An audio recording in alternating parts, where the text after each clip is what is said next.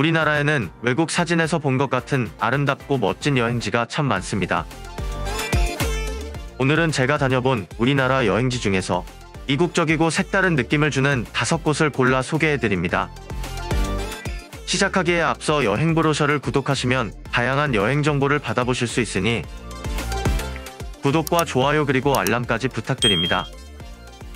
그럼 시작합니다.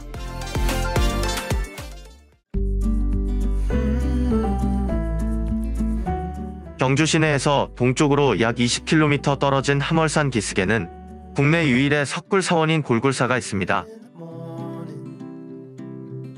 이 사찰은 신라시대의 인도에서 온 승려 광유가 자국의 사원 양식을 본따서 조성한 인공 석굴 사원인데 우리나라의 다른 곳에서는 찾아볼 수 없는 독특한 모습입니다. 이곳에는 관음굴, 지장굴, 약사굴 등의 굴법당과 더불어 남근 바위, 여공 등의 민간 전례신앙의 흔적까지 있어 한국적인 석굴사원의 독특한 특징을 보여줍니다. 조선 중기의 화가 겸재정선의 교남명승첩에 그려진 골굴 석굴도를 보면 여러 석굴 앞에 목조 전실을 만들고 기와를 얹은 형태였으나 화재로 인해 목조 전실은 모두 소실되고 현재는 바위굴만 남았습니다.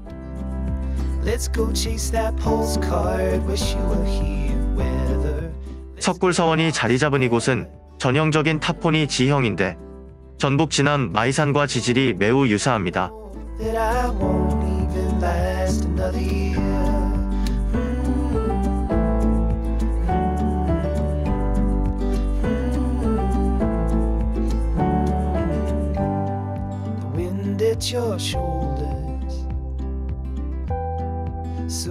아슬아슬한 계단을 걸어 가장 높은 곳에 오르면 보호막이 있는 바위면에 보물제 581호인 골굴사 마에열의 좌상이 있습니다.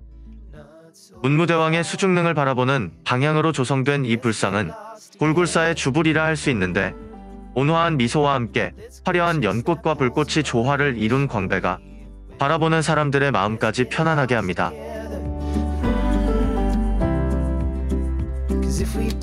마의 열의 좌상을 지나 한 사람이 겨우 지날 수 있는 석굴을 통과하고 밧줄에 의지하여 급경사를 내려가면 전통적인 석굴 양식을 가장 잘 보여주는 관음전이 있습니다. 신라의 고승 원효대사는 말년을 혈사에서 머물며 수행하다가 법당굴에서 열반하였다고 전해지는데 원효대사가 열반한 혈사가 바로 여기 골굴사인 것으로 추정되고 있습니다. 관음전은 골굴사에서 가장 큰 굴법당으로 원효대사가 열반한 장소로 추정되는 곳입니다. 골굴사는 최근 들어 선무도의 총본산으로도 유명해졌는데 선무도 수련원이 개설되어 내국인은 물론 수많은 외국인들이 불교 무예를 배우는 도량으로 자리 잡았습니다.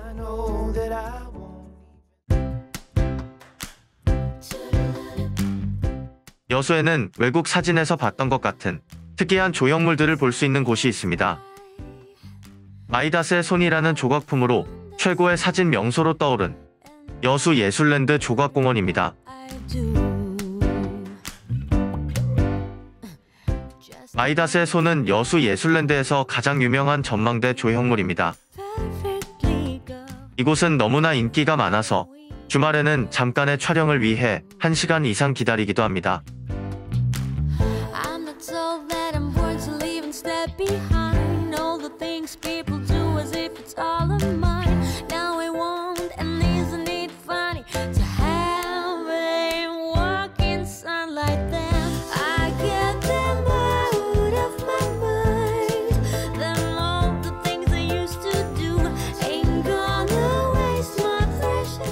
이제부터 다른 조형물들을 감상하며 조각공원을 둘러보도록 하겠습니다.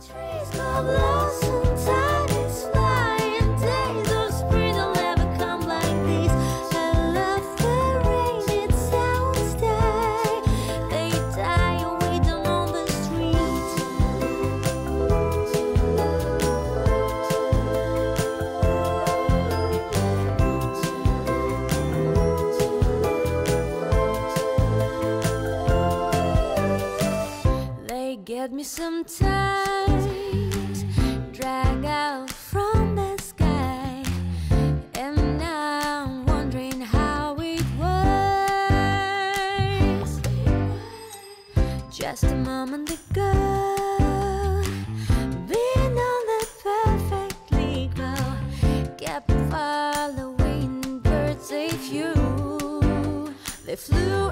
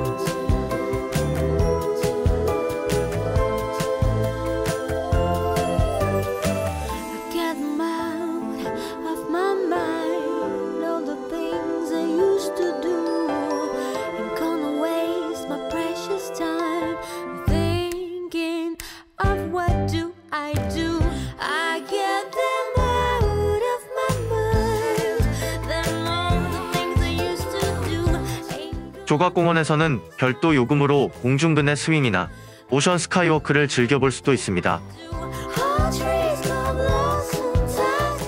여수 예술랜드는 조각공원 전체 규모가 크지 않아 입장료가 비싸다는 평도 있지만 마이다스의 손에서 사진 한 장 찍으려고 여전히 길게 줄을 서는 곳입니다.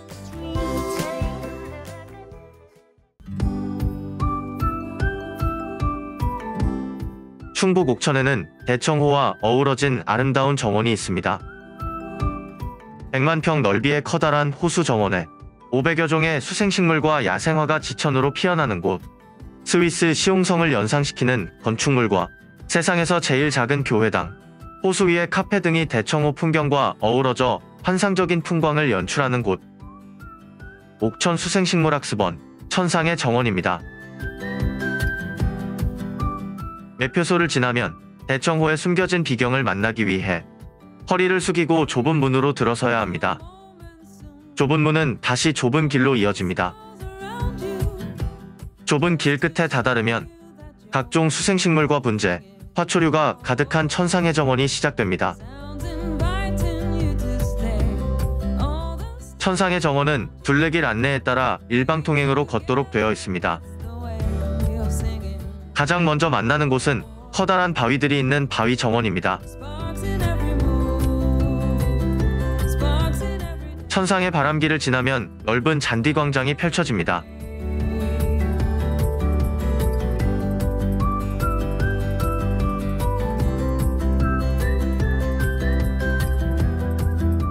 잠시 후 멋진 모습의 소나무들이 보이고 그 너머로 대청호의 아름다운 풍광이 나타납니다.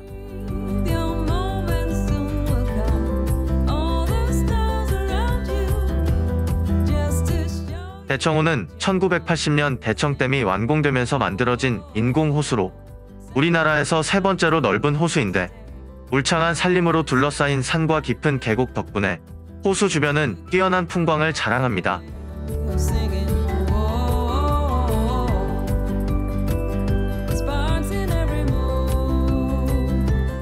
그런데 대청호를 끼고 있는 수생식물학습원은 그 중에서도 가장 아름다운 곳에 자리를 잡고 있습니다.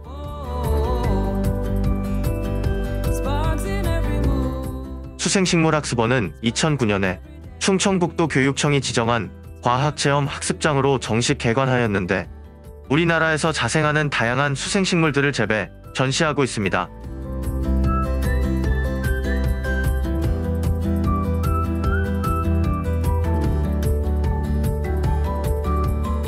대청호가 시원하게 내려다 보이는 곳에 호수 위에 카페가 있습니다.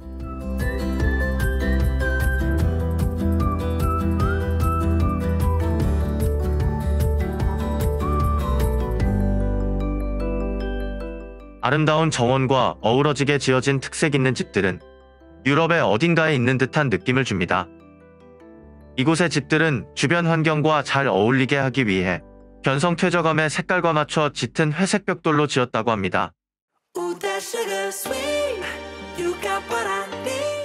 앞에 보이는 건물은 세상에서 가장 작은 교회당인데 넓이가 4.95제곱미터로 1.5평 정도입니다. 십자가 뒤편은 전면이 유리로 되어 있어 대청호가 시원하게 내려다 보입니다. 지난해에만 10만여 명이 방문했을 정도로 상당히 유명해져 조용한 산책을 기대하기는 조금 어려워졌지만. 유럽풍의 멋진 건축물과 세상에서 제일 작은 교회당, 호수 위의 카페 등이 대청호와 어우러진 모습은 방문객의 기대에 부응하기에 충분한 곳입니다.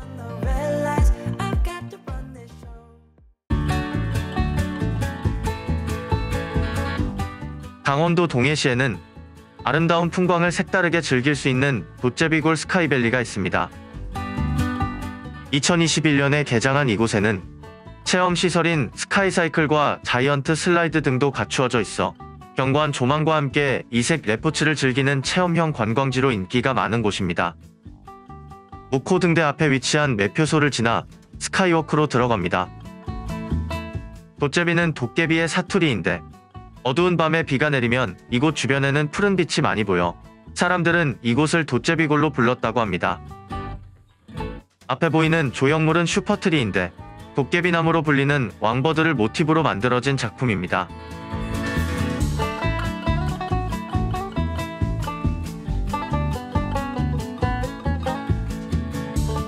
푸른 바다를 향해 허공을 걸어나가는 느낌에 기분이 상쾌합니다.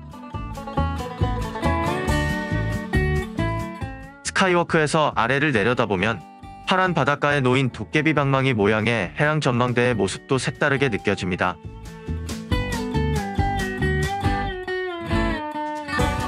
저 아래로 이어지는 계단 길의 무지개 색상은 참으로 아기자기한 느낌을 줍니다. sky cycle은 도째비골 양쪽 구조물을 잇는 케이블 와이어를 따라 하늘 위를 달리는 자전거입니다. 전국 곳곳에 체험형 레포츠 시설이 많아지고 있지만 자전거를 타고 하늘을 달리는 모습은 이곳이 유일한 것 같습니다. 1963년부터 이곳에서 불빛을 밝히고 있는 묵호등대는 묵호항 주변에서 가장 높은 곳에 위치하고 있어 등대 전망대에 오르면 백두대간의 두타산, 청옥산과 함께 동해시를 포함한 동해바다를 시원하게 조망할 수 있습니다. 도제비골 스카이밸리에서 논골 담기를 따라 바닷가로 내려가는 것은 또 다른 즐거움입니다. 논골 담길은 1941년 개항된 무코항의 역사와 삶의 이야기를 간직한 감성 마을인데 각종 벽화와 소품들로 가득한 골목에는 예쁘고 독특한 카페들이 많아 주변 경관을 감상하며 잠시 쉬어가기에도 좋은 곳입니다.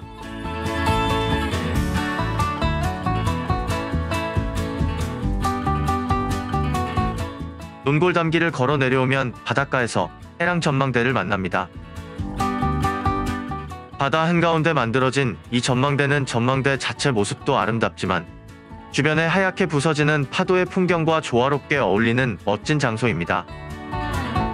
도째비골 스카이밸리는 다양한 전망대에서 풍광을 감상하고 레포츠형 activity를 즐기며 논골 담길의 감성에 젖어볼 수 있는 좋은 여행지입니다.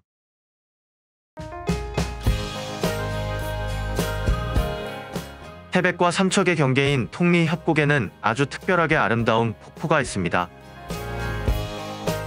드레스를 입은 여인의 모습을 하고 있는 미인 폭포입니다. 태백에서 삼척으로 넘어가는 길목에 위치한 이곳은 행정구역상으로는 삼척이지만 태백에서의 접근성이 더 좋아 태백 여행 시 함께 돌아보는 것이 좋습니다.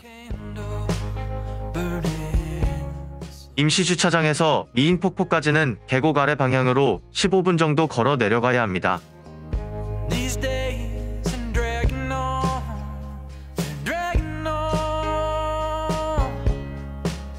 Oh.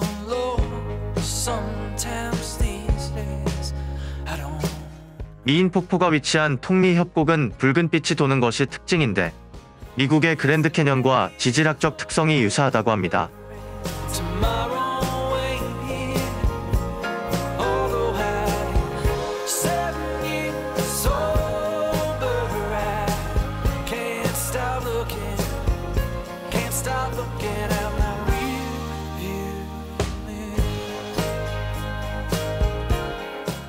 저 앞에 아름다운 미인 폭포가 나타났습니다.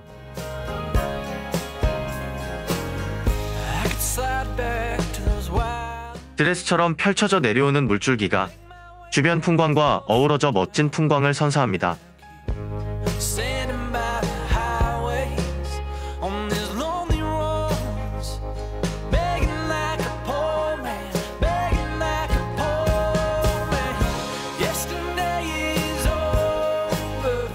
미인 폭포는 웅장함보다는 아름다움에 반하게 되는 폭포인데 연인들이 인생 사진을 찍는 장소로 특히 유명합니다. Can't stop looking. 30m 높이에서 흩어지며 내려오는 폭포수는 석회질 성분으로 인해 신비로운 비취색의 물빛을 보여줍니다. 평소에는 수량이 많지 않지만 수량이 풍부한 여름철에 방문하면 장대한 물기둥과 함께 사방에 퍼지는 물안개를 감상할 수도 있습니다.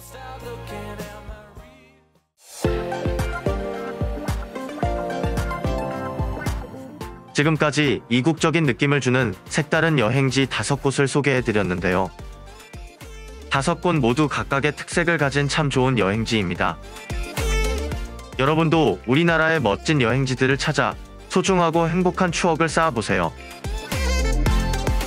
영상이 마음에 드시면 구독과 좋아요, 그리고 알람 설정까지 부탁드립니다.